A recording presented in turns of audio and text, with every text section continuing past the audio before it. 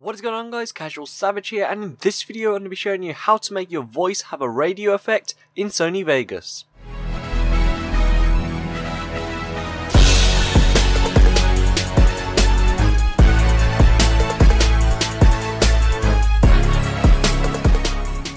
Now just before I get into this video, like I say, this is a requested tutorial as you'll see on the screen right now. I got this asked me on Twitter. With that being said, if you'd like to request a tutorial, then be sure to leave it in the comments below or ask me on Twitter. Now don't be confused thinking I've made this tutorial before. I have in a way, but that was on Audacity. In this video, it's on Sony Vegas. So let's play through this default clip what we already have. In this video, I'm going to be showing you how to make your voice have a radio effect in Sony Vegas. And that's all it is and that's what we're going to have have a radio effect.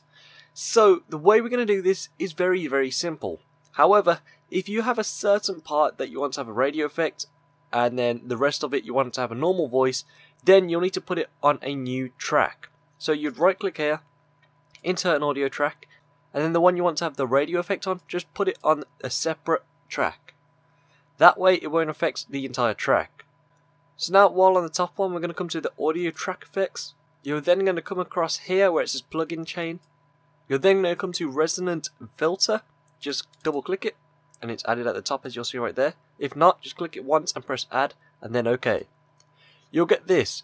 Now, we can save a lot of time by, instead of messing with all this, come to the preset and you'll see it says Teenage Late Night Radio by the Bed. Just click this and this is the stuff you'll get. Now, some cases you may not like it, some cases you do. Most of the time, it should just be fine for you. So you can X out of this, and if we play this through again. In this video, I'm going to be showing you how to make your voice have a radio effect in Sony Vegas.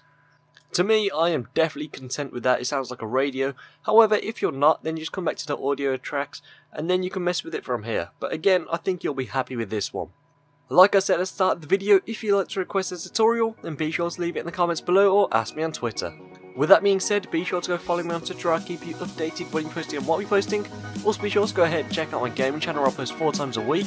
And finally check out my Snapchat which show what I do throughout my day. So yes, been Casual Savage here, thank you so much for watching, please subscribe, rate, and peace.